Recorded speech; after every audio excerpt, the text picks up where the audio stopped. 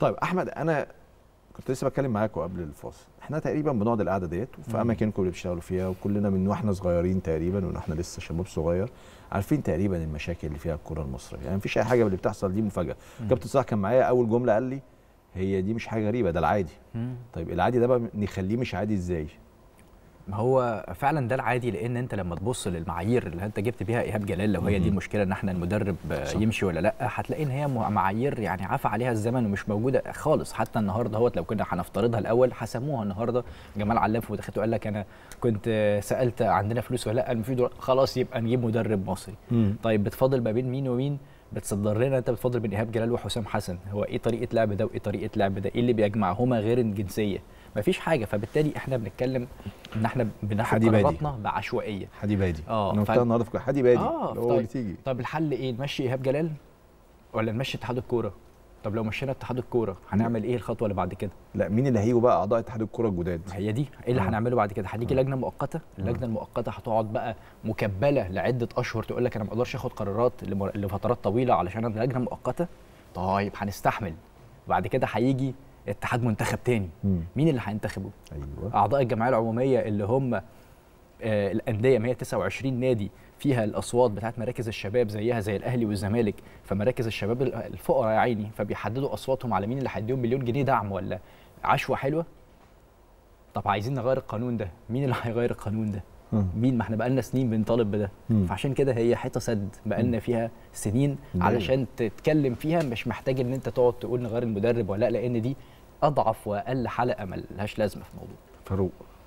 خلينا ناخدك يا كريم كده نرجع لكروش. جاي افضفض معاكم مش جاي اسالكم بصراحة. الوضع بصراحة يعني الوضع غريب الوضع كوميدي شوية. يعني إحنا نرجع لفترة تعيين كروش. كروش جه فترة ضيقة جدا وقلنا ساعتها في تصفيات كأس عالم وبعديها بطولة الأمم والراجل مضغوط مش مطالبين منه مشروع مطالبين منه أداء نتائج لحظية نتائج وقتية.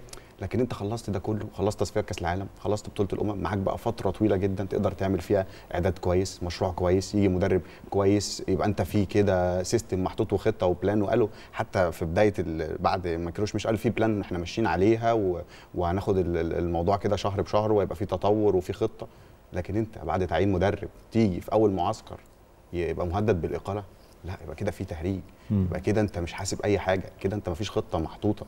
هو انت كده زي ما التصريحات بقى اللي خرجت إن انت ما لقيتش معاك دولارات فرحت جبت المدرب الوطني. مين يا جماعة أحسن مدرب وطني موجود على الساحة؟ والله إيهاب جلال. خلاص تعالى دير المنتخب.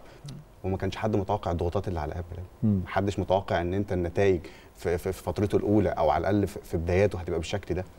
تيجي أنت تستجيب للرأي العام. حتى إحنا مع اختلافنا يعني الناس مؤيده إيهاب جلال وفي ناس ما كانت معارضة إيهاب جلال بس أنت متوقع النتائج هتبقى كده.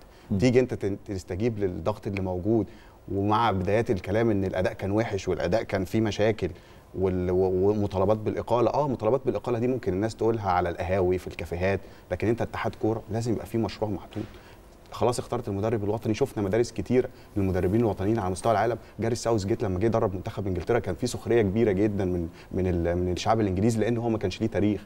لكن اتمسكوا بيه. يواخيم لوف مدرب منتخب ألمانيا لما جه مدرب وطني ما كانش ليه تاريخ كان مساعد دي شامب في 2012 اتاكل. طبعا. 2012 طبعا. لما جابوه اتاكل ولما فاكر. خسر في 2014 وخسر يورو 16 كله عايز يمشي في آخر كأس عالم. كان لازم تتوقع العاصفة دي. ولازم تقف وتدعم المدرب اللي أنت اخترته. خلاص أنت اخترته. سواء هو كفء وهو يناسب إدارة المنتخبات ولا لأ؟ خلاص انت اخترته لازم تدعمه. على الأقل خالص تصفيات بطولة الأمم تخلص. الراجل أخفق فيها وما صعدش يبقى خلاص ما حققش هدفه ويمشي. وده ساعتها برضه يبقى خطأ في البلان اللي انت حاططها يعني.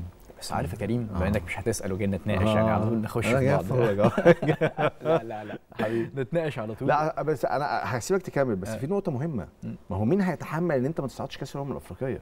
يعني مع كامل الاحترام أنا مش أنا مش هسيب حالي ومحتالي وحياتي لاتحاد كورة بيقرر أو جهاز فني بيدرب وما نوصلش كأس الأمم الأفريقية في مجموعة زي دي. خلاص هو في أشخاص لازم تاخد قرار وأنت لازم تتحمل قرار. ودي حاجة صعبة جدا أنت ما بتوصلش برضه أمم إفريقيا. آه خسرت من إثيوبيا انما في الآخر هتصعد يعني مش صعبة يعني. ما أنا بقيت خايف من الحاجات ما هي كل حاجة بقت صعبة. بقيت خايف من الحاجات اللي فيها ما هو ما كانش منطقي نخسر من إثيوبيا بالأداء ده 2-0 عارف هو المشكلة في إيه؟ إن أنت فعلا مفترض إن هو الفترة الحالية أنسب مدرب إن أنت المدرب اللي الأنسب فترة قصدي إن هو مدرب يجي يكون بلا ضغوط. أنت مطالبه إيه؟ مطالب إن أنت وصل لأمم إفريقيا؟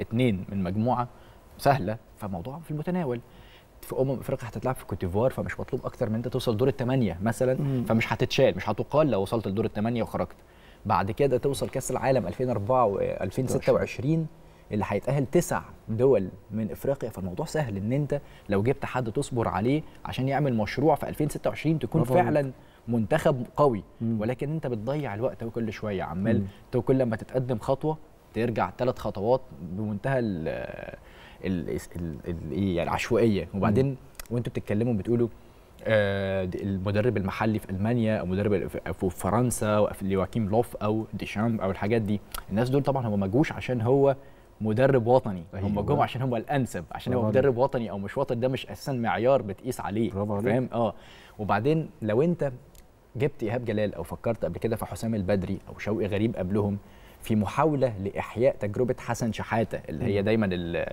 البوصل البوصلة بتاعتنا عارف. المشكلة في إيه مم. إن أصلا تجربة حسن شحاتة كانت نفسها تجربة عشوائية مش مخطط ليها برافو عليك يعني هو حسن. شحاتة نجح بالصدفة مم. هو كان مجرد إن سارديلي فشل فعايزين واحد يكمل ال- التصفيات مم. جبنا حسن شحاتة كسب له ماتشين خلاص امم إفريقيا على الأبواب يكمل لو اتحسبت ضربة الجزاء بتاعت إبراهيم سعيد قدام السنغال في قبل النهائي وخسرنا كان مشي حسن شحاتة أو لو في خسرنا لو في خسرنا ضربات الجزاء في النهائي كان هيمشي كان هيمشي حسن كانش شحاتة فيه 2008 و2010 فهي كده هي الدنيا ماشية كده عندنا آه. في مصر آه. مفيش أي تخطيط وبعدين مع كارلوس كروش كان فضل.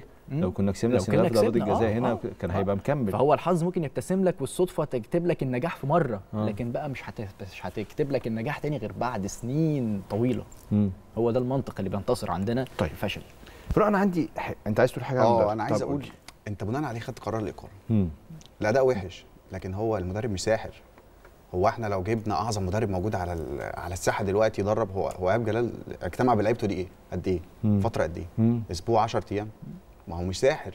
يعني أنت حاسبه بعد كده هو الراجل ما لحقش يعمل حاجة أصلا. هو المشكلة إن الراجل ما لحقش يعمل هو حاجة. في سؤال مرتبط بده. هو لو لو كان مدير فني أجنبي وهو اللي خسر الماتش ده أو خسر ماتشين كمان غينيا هتسيبه. واثيوبيا هتسيبه طبعا. آه. هتسيبه لأن أنت اختيارك ده أنت بناء على إيه قلت إن هو فاشل؟ هو الراجل آه الأداء مش حلو بس هو ما فيش لمسه ما فيش بصمه ما أنت فيش مدرب هيجي أنت, يحط أنت بصمته في قلت. تمشيه على بناء على اللي قاله فوزي إنه أصلا أنت اخترت وأنت مش واثق باختيارك. أنت هي مش دي مختار غلطة بمعايير كبيرة دي غلطة أنت كبيرة. شاكك فأنت أول مع أول خسارة اتأكدت من شكوكك. دي غلطة. كبيرة. فهي بقى عارف ليه كانوا حي... لو مدرب أجنبي كان حي... هيكمل ومش هنناقش أساسا فكرة رحيله عشان المدرب ما هو إلا رصيد. صح. فاهم أنت الرصيد أنت من يوم تقديمه اتحاد الكورة بيسألوا وليد العطار أنت جبته ليه إيهاب جلال فقال لك دي. أمور داخلية ما ينفعش نناقش. جمال علام بيقدم إيهاب جلال فبيقول معانا بقى إيه- إيهاب جلال المدير الفني لمنتخب مصر فقالها بطريقة مش اللي هو خلص كلامه الناس مش واخدة بالها فمحدش سقف. إيه مش هتسقفوا يا جماعة ولا إيه اللي هو منتهى الإحراج. يعني فين في إحراج أكتر فين من- حماية مدربك. في إحراج أكتر من هو يخرج يتكلم يقول إن إحنا بنناقش بنشوف سير ذاتية وهو مدرب معاك عنده تعاقد مع الاتحاد. إحنا بنشوف بره احترام ال- اللي احترام هو العقود دي. اللي هو حلم مشروع يعني مجلس إدارة اتحاد الكوره قال لي إنه دي حكاية تانية غير حكاية المدير الفني لمنتخب مصر الأول. أمال بيدرسوا السير ذاتية مدرب؟ المنتخب الأولمبي أو مدير اتحاد الكورة. ما هو ما وضحش كده. لا هو- هو آه، سياده اللواء وضح كده بس كده يعني. بس آه جمال التصريح علام ما قالش كده. ما وضحش لا كده. طبعا، يعني لا، هو هو- بركات وحازم لما بيدرسوا سيرة ذاتية. بص بيدرسوا سيرة أنا ذاتية أنا, للمدرب أنا, أنا هقول لك الصيغة. أستاذ جمال علام أخطأ في تصريحاته. أنا أول جملة قلتها قلت إنه مش كل مسؤول عنده مهارة الحديث للإعلام. مش لازم. يتكلم في متحدث رسمي. ده واحد.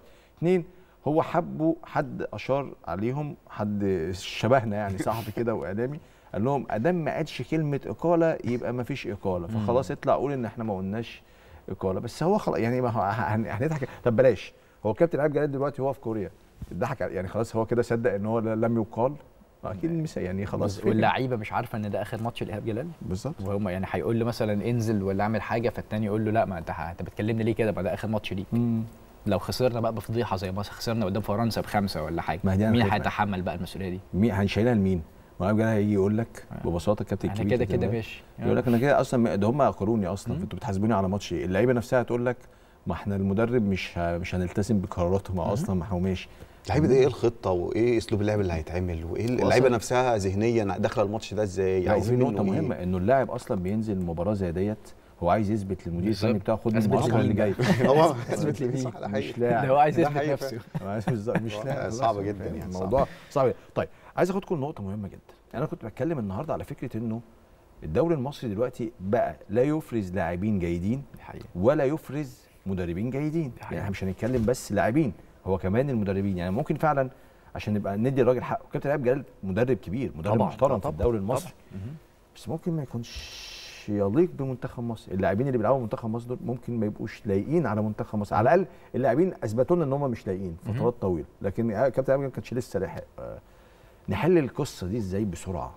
ننقذ نفسنا إزاي بسرعة؟ يبقى عندنا لاعبين مؤهلين للعب المنتخب مصر وعندنا أجهزة فنية نقدر نعتمد عليها أو نقدر نصدرها كمان بره. إحنا ما عندناش دلوقتي مدربين بيدربوا آه. طبعا. ما هو انت لازم تتحرك في أكتر من ملف في مم. وقت واحد مم. اولا لازم تتحرك كاتحاد كورة إن أنت تعد جيل جديد اللي طالع من المدربين بره زي ما الدول اللي هي قريبة منك بتعمل مش بقول الناس الغن- الغنية يعني. تونس والمغرب والجزائر وكده واحد زي علي ماهر واحد زي أحمد سامي والناس دي تعدهم إن هم يبقوا عندك كوادر تدريبية للمستقبل دورات. يمسكوا منتخبات زي حسن شحاتة ما حصل صح من الدرجة الثانية صعد المنيا صعد السويس صعد الكرة العرب. المقاولين العرب بعد كده منتخب الشباب بعد كده منتخب أول فالناس دي إن هم ياخدوا دورات عشان يبقوا مؤهلين يمسكوا منتخبات الشباب ومستقبلا ليه لأ المنتخب الأول. صح. في نفس الوقت عشان تقوي المسابقة بتاعتك لازم اولا الجمهور يرجع. مم. لازم ثانيا إن أنت تقلل عدد الفرق بتاعت الدوري الممتاز على على مدار سنتين إن هم. يرجعوا ل 16 فريق عشان المنافسة تبقى قوية. لازم ثالثا بقى إن أنت تشوف آه، حل لموضوع اللي هو إن بقت كل إن هي بقت دوري منطقة القاهرة ما عادش. دوري المصري ما أعرفش. دي حلها إيه بس هو لازم يبقى في حل جذري ليها. عشان ترجع المنافسة قوية تاني والناس وال- واللي يبقى الاحتكاك يصنع شخصية للاعبين.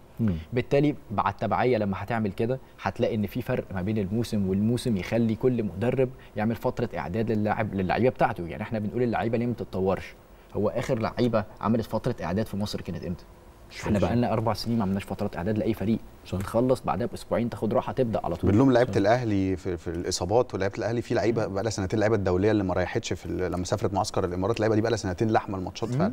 النقطة دي آه، كريم أنا عجبني كلامك على الاحتراف شوية اللعيبه تحترف في سن مم. صغير إحنا عندنا عقلية اللعيبة شوية غريبة بالنسبة لي مم. يعني أعرف أكتر من لعيب وحصلت قصص كتيرة للعيبة جالها احتراف في بلجيكا وجالها احتراف في تركيا وهم صغيرين ورفضوا ليه لأنه جاي له عرض من الأهلي والزمالك قال لك أنا أقعد في بلدي آه فلوس والله أكتر. فلوس أكتر وقاعد في بلدي مشهور كمان. جدا واخد ال معلش أنا آسف ان أنا بقطعك إنه هنا فلوس أكتر في الأهلي والزمالك هو اللعيب بتاع كوت ديفوار ولا غانا ولا السنغال بيطلع ليه بياخد أي فلوس في أوروبا ما محمد صلاح لما مش راح هياخد- لما راح. بازل كان في آه. كام لعيب في مصر بياخد أكتر منه صح بس هي. الكوره واقفة تماما فهي دي جت حظنا أيوه برافو عليك آه. والله آه بالظبط أنت ممكن كان وارد؟ ساعتها يروح الزمالك ممكن يجي له عرض من الزمالك أو من الأهلي موجود أكبر عرض من الزمالك. already.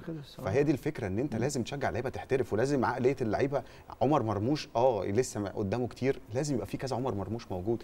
هنخرج منهم كام لعيب. اللعيب بيتغير إزاي؟ نيجي للمدربين أنا عجبني جدا المغرب عملت ال- ال- الكاف pro عملت آه، التدريبية. الكاف التدريبية. pro. شارك فيها مين بقى؟ شارك فيها وليد الركراكي مدرب ال- الوداد. شارك فيها رشيد طوسي مدرب الرجاء. وحسين عموتة مدرب الفريق المحلي. جابوا لهم مدربين على أعلى مستوى اختلطوا واحتكوا بمدربين من أفريقيا مدربين الصف الأول في أفريقيا ومدربين من أوروبا كتير. هو ده اللي بيفرق. وليد الركراكي دلوقتي بيفضلوه في المغرب والشعب المغربي على على خليلوزيتش المدرب الكبير جدا. وكلهم عايزين وليد الركراكي ياخد فرصة في كأس العالم لأن هم امنوا خلاص بقدراته وهي دي تطوير المدرب المحلي مم. فلازم عندنا يبقى في دورات لازم عندنا يبقى في تطور في, في المجالات دي طيب انت ما نسيت القصة بتاعت المحترفين. بمناسبة المحترفين والأجانب اللي بيجوا في الدوري المصري بس خلينا في الأول في المحترفين. انت مع فكرة انه نقلل عدد اللاعبين الأجانب اللي في الدوري المصري ولا مع زيادتهم؟ لا أنا مع زيادتهم طبعا. أنا هاي، مع أشكرك. عشان تقوي المنافسة بتاعت الدوري مم. أنا مع إن إن إحنا نتعامل مع الدوري انا بتاعنا بصرخ بقالي كام يوم في القصة دي كل ما أدخل مداخلة ولا حد يجي معايا يقول لي لأ لازم نقلل. لا لا ده كلام عفى عليه الزمن ده ما هو كل ال- الدوريات العالم فيها محترفين كتار جدا آه إيه أهميتها بقى إن يبقى عندك محترفين كتير يعني مثلا أنت لو هنقيس على الدوري السعودي أنا دايما آه. بقيس على إنجلترا وفرنسا والناس دي. عشان دول خلاص في حتة تانية آه. مختلفة عننا آه. إنما تقيس على البخ... اللي هم اللي زينا عندك مم. السعودية مثلا. عمالين لسه كل شوية بيزودوا عدد المحترفين بس فالمنافسة تبقى قوية فالاحتكاك باللاعبين اللي هم المحليين نفسهم يبقى قوي فيتعلموا يتعلموا أكتر يعني عارف أنت لما تشتغل مع حد قوي طبعاً. فتستفيد منه. مش بس كده. دي نقطة. أنت هيديك فرصة كمان. أنا كنادي مثلا أهلي أو زمالك تسمح بالاحتراف. اسيبه بقى اصدر هي دي. يبقى عشان خدت. في في تصدير وغير أنا- كده أنا أنا بدون مقاطعة. لا لا. ال... أنت عندك في مركزك مثلا back يمين آه. أنت بدل ما أنت بتتنافس مع لعيب مصري أنت هيبقى معاك واحد زي علي معلول. صح. أنت مطالب دايما إن أنت تبقى top form مطالب دايما إن أنت تبقى تاخد فرصتك تبقى في أحسن مستوى ليك. لأن أنت معاك لعيب محترف خلاص انت عارف ان هو لو انت ريحت اللعيب ده هياخد عليك وهيبقى هو الاساسي وهتعرف تظبط الأسعار بالكويس بالكواليتي. طبعا. يعني دلوقتي بدل ما انت سوقك يعني مثلا هو في حراس مرمى في اتنين تلاتة حلو كويسين هيبقوا غاليين جدا عشان مش عارف تجيب من بره. بالظبط. انت ما مش هتعرف تستورد من بره فانت عمال تغلي وتعلي في أسعار اللعيبه عندك لعيبه أو اتنين بتعلي فيهم جدا. وبعدين إحنا مش مش منعنا الحراس الأجانب. مم. من يوم ما منعنا الحراس الأجانب ما طلعناش حارس كويس. في الرمق شوية غير شناوي بس. آه. إنما من. قبلها كان في الحضري وعبد الواحد السيد وعبد المنصف دول الثلاثه وكان في أجانب. وكان في أجانب. ومعلش يعني ما السنغال عندهم مندي والمغرب عندهم ياسين بونو وفي كل الناس عندهم أجانب.